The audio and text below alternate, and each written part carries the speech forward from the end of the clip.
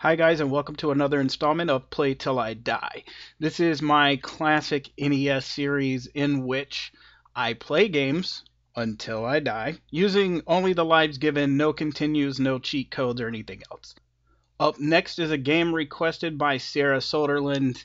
Uh, Sarah, I thought we were friends. We've known each other for a long time. Um, I don't know why you do this to me, but this is absolutely one of the most frustrating games ever made uh, Marble Madness for the Nintendo Entertainment System.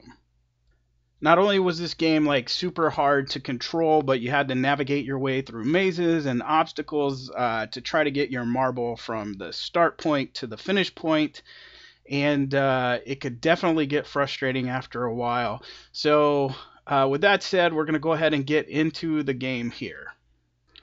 All right, so we're at the start menu. We're going to hit start, uh, one player. It's going to ask to enter my name, which I am going to put in my gaming name, which is Titan.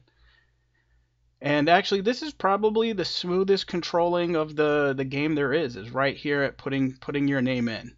Uh, you have a choice between 90 degrees and 45. I am going to play the 90 degrees, and I am going to try to make it through this practice race, which basically you're pushing up left and right to try to keep your marble from, you know, seriously spinning out of control. Um, and there I go, falling off in the first level twice. So that's going to be a good indicator of how frustrated I'm going to get with this game. Uh, I got a little bit of a time bonus, which not sure quite what that's for, but Anyway, it's going to count down. This is the beginner race, and as you can see, there is a black marble here that just wants to smack me around a little bit. And uh, so even if you fall off like the slightest little bit, the either the marble starts to spin crazy, and you can try to regain control, or it'll just fall off completely. Uh, these little things will leap in the air and try to eat your marble. Uh, okay, obviously this bridge is not down. Don't want to get eaten. So coming around this corner shouldn't be too hard, but as you can see, I kind of fell off there and it started to spin. Um, so before I get too much momentum, yeah, I just went off again. Um, it's really hard because trying to control the speed of the marble plus the direction, and as you saw like there, I hit like the slightest little corner, it started spinning out of control. And uh, yeah, so I'm having trouble just here on this uh, beginner course. Uh, but here's the end, so we made it. Even had a little bit of time to spare, so got a little bit of a bonus.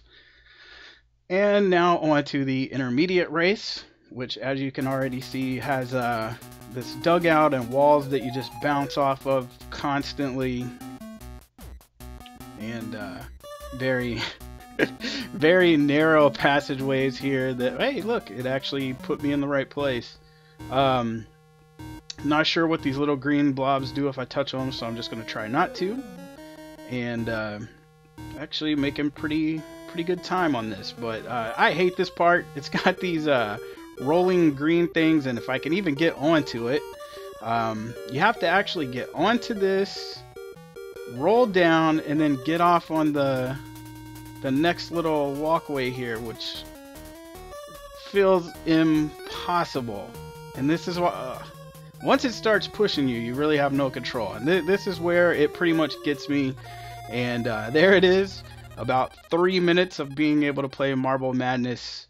And uh, how I did, however, get a higher score than Allie. So, Allie, uh, if you're watching this, you can suck it. I am number nine. You are number 10.